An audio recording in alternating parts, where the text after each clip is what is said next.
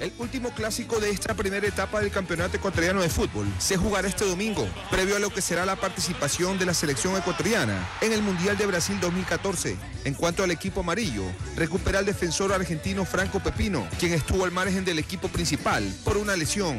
El lateral Juan Carlos Paredes analiza lo que será el compromiso ante los azules.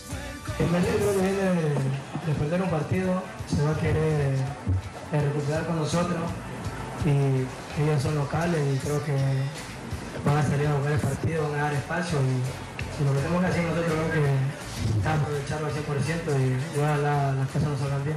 En la historia de los clásicos del astillero se han jugado 202, 63 ganó Barcelona, 60 ganó Emelec y entre ambos se empataron 79 veces, 221 goles a favor del elenco canario y 215 para los emelexistas. La convicción de los dirigidos por Carlos Isquia en darle una alegría a la afición barcelonista en un reducto donde ya han saboreado la victoria.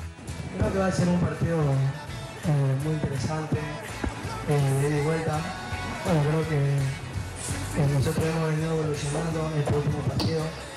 Creo que eso, eso es muy importante para, nosotros.